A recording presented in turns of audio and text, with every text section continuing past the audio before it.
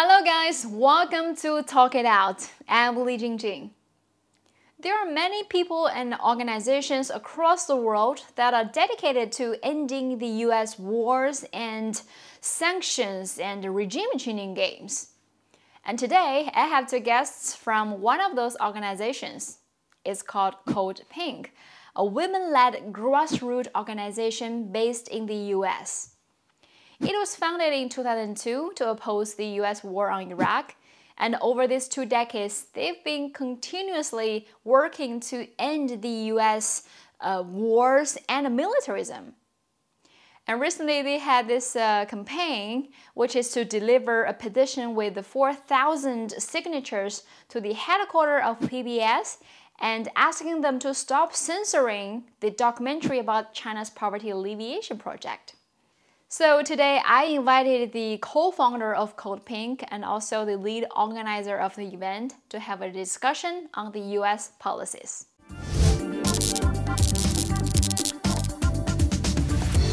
So hello everybody, I'd like to introduce my guest today, Madison Tang. She is the coordinator for Code Pink. Uh, China is not our enemy, and also she is among the organizers for recent campaigns for Code Pink. So Madison, welcome. Thank you so much for having me, Li Jingjing. Medea Benjamin, she's the co-founder of Code Pink. So hi Medea, thanks for coming to my show. Thank you, nice to be on with you. So I will start by asking, because you were among those, ser- those several activists that deliver the signatures to PBS, asking them to stop censoring the documentary about China's poverty alleviation project. So I'm curious, why do you think this documentary is important for viewers in America? I live in the nation's capital in Washington, D.C. Go well, just across the street from me is a guy sleeping on the uh, outside of a, uh, a building, a school building. He comes every night and leaves during the day, comes back. Or I can go a few blocks away and see tents set up uh, that are homeless people. Or I can go the other way under a bridge and see it lined up with people uh, that have nowhere to live and have are just living on the street. And this is happening in cities all over the United States. And that's just the extremely uh, unfortunate people who don't have housing. And then there are so many people who might have a roof over their head, but live in extreme poverty. And so I think it's important for us to do everything we can to learn how other countries are dealing with poverty. And when I saw that film uh, on China, I was just astounded. I uh, was amazed that so much effort by so many different layers of government down to students in university would be so involved in trying to lift so many people out of poverty in ways that are uh, structural so they won't fall back into poverty uh, um, a few months later uh, so it is um, very important for us to learn some of that. Now, I'm not saying that the US could just take a program like that and transport it here, very different societies uh, and things that the American people would not be comfortable with people coming into their house, for example, and asking them all about their income. Uh, Americans are very individualistic like that.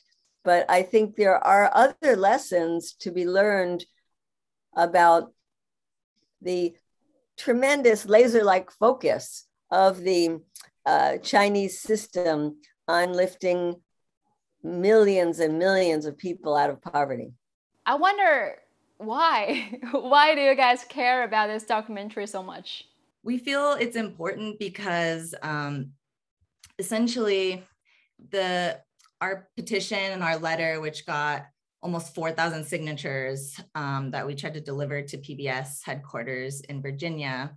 Um, we feel that censoring the truth about China's poverty alleviation policies and censoring a rational view about positive aspects of China, um, is depriving all of the viewers and the public in the United States of opportunities for learning about um, collective harmony and equality um, and insight into these policies, which have saved lives. And we know that the poverty alleviation in China has taken 800 million citizens out of extreme poverty.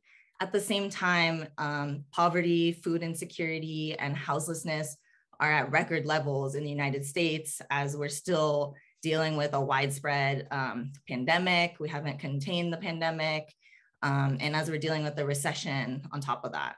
So I'm just curious to you as uh, people in America, what would you say about the general Amer Americans' view towards China?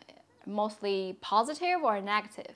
Yeah, I think unfortunately, mostly negative in my experience. And and I am um, biracial, so my father is Chinese American. Um, so I kind of have a different experience than like monoracial people, but I still experience some of that. Um, I think uh, one issue is that I feel that Americans in the US cannot separate criticisms of the country and government of China from the people. Um, and we see that in the simplest form in how they can't even separate Chinese Americans in diaspora from Chinese citizens or other East Asians um, and Southeast Asians who have also been victims of um, violence. But you're you're very uh, smart and right to be talking about the like double standard kind of of the the uh, portrayals of China and Chinese people. It's like on the one hand they have this like Orientalist, xenophobic um, portrayal as like uh, mm. unclean, yeah, like uncivilized, um, despotic, um, diseased, all these things. And then yeah, but they're also being able to steal all American people's lunch and jobs and technologies. yeah, there's they're also seen as so clever, so smart, and so deceptive that they can take over our whole country apparently they're the biggest threat to americans and congress members grandchildren which really does not align with reality and china doesn't have their foreign ministry do not have the goal of taking over other countries. They haven't intervened in another country in over 40 years. They just want to have economic power so that their people are taken care of um, and so that they can have solidarity with other countries against western aggression. You are one of the co-founders of Code Pink, and when you guys started this organization back in 2002, it was because you want to oppose U.S.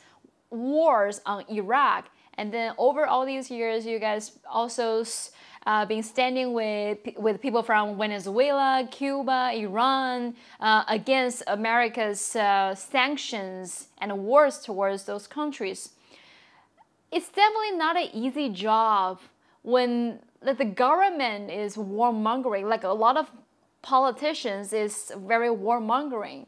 So what motivated you guys to continue to do this for, for such a long time? Well, I want to add to that that we also opposed the US intervention in Afghanistan. And all of these years, now 20 years, uh, we have been opposing that uh, military presence as well. And what keeps us going is that we have an opportunity to talk to people, sometimes in person because we travel to countries like Afghanistan, Iraq, Syria, Yemen, uh, and we meet with the people who are victims of our interventions, or we talk to refugees who have had to flee those situations, people in Pakistan, for example, whose families were killed by US drone strikes uh, that we met with and saw how their lives had been destroyed. And knowing that our government is so involved in military aggression and that this hurts us at home. Uh, when I see people unhoused in the United States, when I know that many of my friends don't even have health care, when I have uh, young friends who are students who have tens of thousands of dollars in debt, then I realize how much we are taking the money that should be going to these positive things and instead putting it into a war machine that just kills and maims and destroys. And I don't want my government to be representing me like that around the world. And the other people who are members of Code Pink feel the same way. We want to live in a world where we act, interact with each other in peaceful ways. We use diplomacy. You know, just like if your children are in school and start fighting with each other, you'll stop them and you'll say, no, that's not the way to resolve problems. I think on the global level, we feel like our country is a big bully uh, that is using its high tech and its wealth uh, to impose its will or try to, because obviously um, we don't win in these wars, uh, but tries to do that. And it reflects terribly on us as a people. And the last thing I want to say about that is that we also know that a lot of our policies are being dictated by companies that make these huge profits from war and death and destruction. And I live in Washington, D.C. The suburbs of Washington, especially in Northern Virginia, have become the richest suburbs in the entire country, more than the high tech areas of Silicon Valley or the Wall Street uh, in, in New York City. Uh, they are um, the richest counties because of these military contracts. The military has so much money, billions and billions of dollars every year, that go to these companies that make weapons and have uh, contracts with the Pentagon. And they're the ones who really get rich off of this. And that's not the way we want to see our tax dollars invested. But when the uh, US military, when they went to another country, when they moved to invaded Afghanistan, they give themselves they give themselves a very uh, sounds righteous reasons. We we went there to, to, because it's a war on terror. Is we went there to build their nation to liberate their people. What do you make of that? Well, we think that that is always a justification for the aggression. Uh, after 9 11, there was a lot of uh, public support for war because people were feeling they wanted to get back at those who attacked us. But the people in power really used the attack of September 11th, 20 years ago, to justify invading other countries, not just Afghanistan, but Iraq, that have absolutely nothing to do with the 9 11 attack. And we also know that of the 19 hijackers involved in the, in the 9 11 attacks, 15 of them were from Saudi Arabia. But the US never wanted to invade Saudi Arabia. On the contrary, our government sells billions of dollars in weapons to Saudi Arabia that uses those weapons to kill and hurt people in neighboring Yemen. So we know that it really is uh, not true that the US goes in to liberate other people. The US goes in to try to take over nations, install US friendly governments, uh, use their resources, uh, but not to liberate people. If after 20 years in Afghanistan, you see that the people are among the poorest in the world, and you see that they don't even have decent infrastructure, we didn't even do that in 20 years. Majority of the people don't even have electricity. You can see that the US is not going there to help people.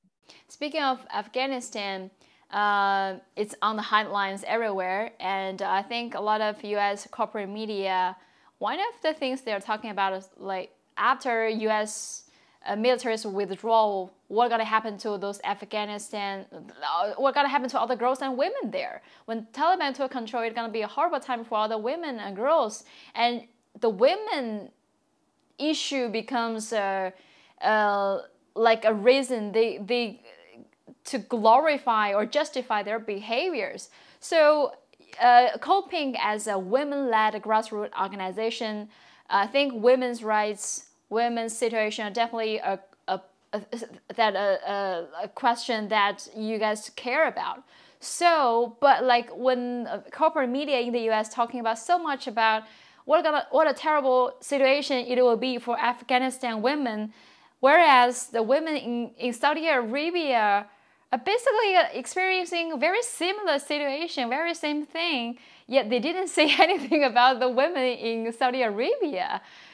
So I'm wondering, what do you make of that?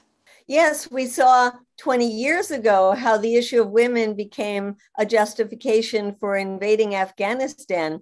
And we believe that invasions and militarism are the very opposite of feminism, the opposite of liberation, that women have to fight for their own rights along with their male allies. But it is really up to women uh, to gain uh, uh, rights and equality in their societies, just like we in the United States still don't have equal rights, equal pay. We're still fighting for that uh, here at home.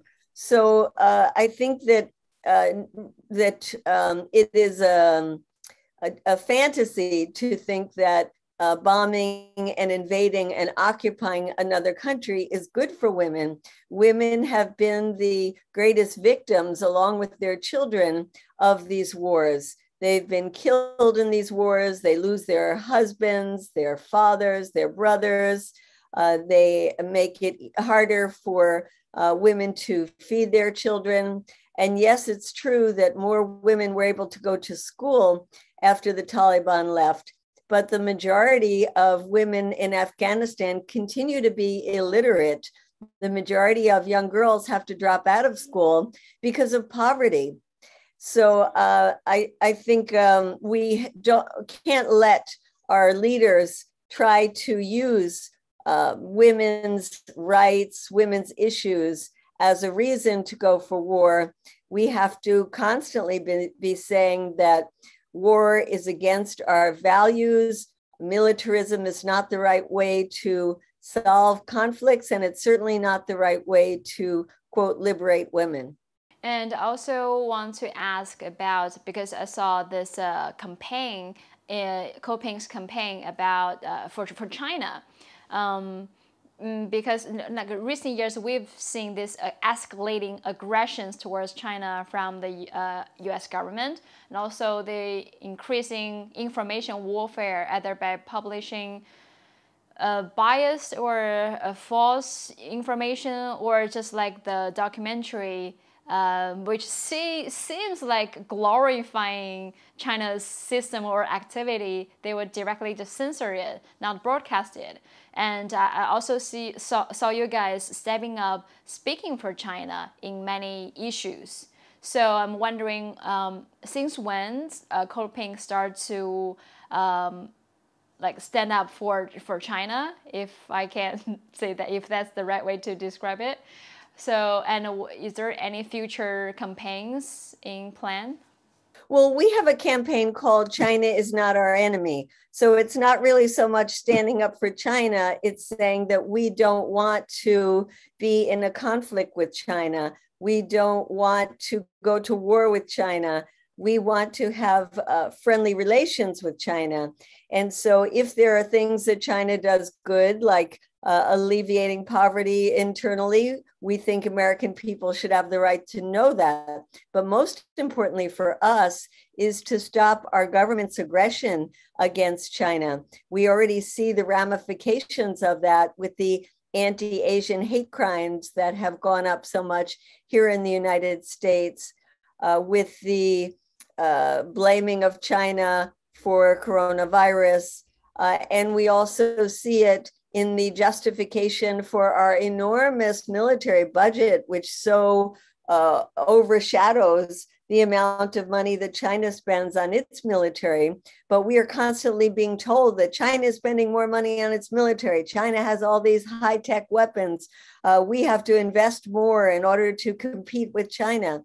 And uh, because Code Pink has as our fundamental uh, basis that we want to free up this money that we spend on the Pentagon and instead put it into things like healthcare and dealing with the climate crisis, as long as our government is able to convince people that China is this enemy, uh, then they will continue to be able to rob us uh, by putting so much of the money that's needed for other things into uh, militarism, high tech weapons, drone warfare, artificial intelligence, all of these things that we're told are necessary to compete with China. So that's why our campaign is called China is Not Our Enemy. And we think it's so important to educate people about the uh, relationship between the US and China and to convince them that we have to work together with China, cooperate to solve the globe's biggest problems together, like the climate crisis, instead of this uh, militarized competition. How difficult is this campaign compared to other your other campaigns? Yeah, I think um, this campaign does have it is very difficult because there's part of the hybrid war that the U.S. is waging on China involves an information war, information warfare. Um, so we're kind of fighting a very uh, curated like narrative that has so much power behind it. Um, like I said, it includes the Biden administration, Congress, um, the mainstream media, and then to an extent, even just some of the public because of a lack of understanding, a lack of familiarity with the East and with China and Chinese history and Chinese American history, even. Mm-hmm. There's a hole in their knowledge um, related to Orientalism. So we're just trying to fight all of that information and dismantle it um, and show where there's extreme bias, anti China bias, um, mm-hmm. to the extent that it's harming people, whether that be in the South China Sea or in the US through anti Asian violence, it is harming people directly right now and it will get worse. Um, so it has been difficult, um, but I think slowly we're kind of making US citizens aware and Westerners generally, I think, of what is happening because a lot of our military buildup around China and a lot of the um, legislation in Congress right now that is very like anti-China uh, focused. All right, that's why we need you. We need you guys and your organizations to keep people informed with another side of the story. So thank you so much, Madison. Thank you, Medea. Thanks for being on my show.